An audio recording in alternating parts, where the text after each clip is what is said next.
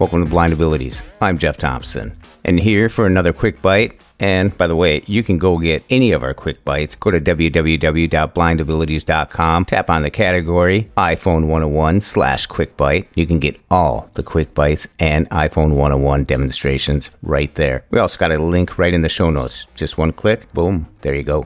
In this quick bite, we're going to be talking about messages, how it repeats. You get a notification, you hear it, okay, but you're in the other room and you hear it, and you go, okay, okay, okay, and then it repeats every two minutes. Well, you can change this setting, how many times you want it to repeat, or you might be thinking, never, not at all, nothing, nada. And you know what? The choice is yours. Let's go check them out. Let's go to your settings icon on your home screen or whatever screen you keep it on. Settings. And do a single finger double tap. Open that up. Psst, lean in a little bit. I just wanted to explain. If I say swipe to the right, I'm talking about a single finger swipe from left to right across your screen, east and west, okay? So let's swipe to the right down to messages. Messages. Button. And then you want to do a single finger double tap. Allow messages to access. Heading. Okay, now let's swipe to the right down to notifications. Notifications. Banners. Sounds. Badges. Announce. Button. Psst, a little note here. When I say double tap, I mean a single finger double tap from here on out. All right? All right. So we'll single finger double tap on notifications. Allow notifications. On. Make sure this is turned on.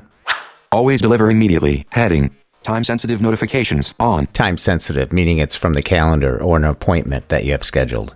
Time sensitive notifications are always delivered immediately and remain on the lock screen for an hour. So that's nice. They're there for an hour, so by the time you get to it, probably still be there for you to read with voiceover. These next settings are settings that you can change how your alerts are delivered to you. This is the way I have it set up. I suggest exploring this area and find out what works best for you. Alerts. Heading. Selected. Allow on lock screen. Button. This way, I'll get my messages if I don't have my phone open. Selected. Allow a notification center. Button. Yeah, so when you check your notifications, there they'll be too. Selected. Allow as banner. Button. A banner pops up at the top of the screen and it sits there for a little while, or you can have it remain there or have it just disappear. Banner style. Temporary. Button. Sounds. Circles. Button. If you uh, double tap on this, you can go pick which sound you have for your alerts. Badges. On. Badges. This is when you touch your messages icon on your screen and it says how many messages you have. So if you have four, it'll say four. Announce. Heading. Announce notifications. On. Button. I like hearing my notifications when they come out because it gets my attention, and this is why we're here to choose if we want them to repeat or not. Lock screen appearance. Heading. Show previews. Always default. Button. This will give you a preview, a sneak peek of the notification. Won't give you all of it if it's a long one, but it'll give you a sneak peek so you know what the content is probably about.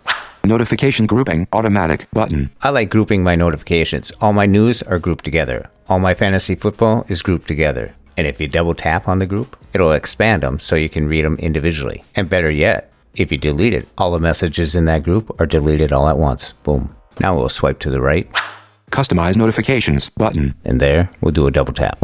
Repeat alerts. Never. Button. Now you get a choice repeat alerts never or repeat alerts. Repeat alerts. Button. When you decide, just do a double tap. And if you happen to choose repeat alerts, when you double tap on that, you're given some choices.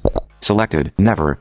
Once. Twice. Three times. Five times. Ten times. The choice is up to you. Selected. Never. So if you do decide to have it repeat, the increments between each repeat is two minutes. So there you go. Happy messaging, happy notifications, and happy repeating. And happy repeating. And happy repeating. And happy repeating. When we share What we see Through each other's each other's eyes, eyes, we can then begin to bridge the gap between between the limited expectations and the and the reality realities of blind the ability. realities of blind of abilities. blind abilities. For more podcasts with a blindness perspective, check us out on the web at www.blindabilities.com, on Twitter at blindabilities. Download our app from the App Store, blindabilities, that's two words, or send us an email at info at blindabilities.com. Thanks for listening.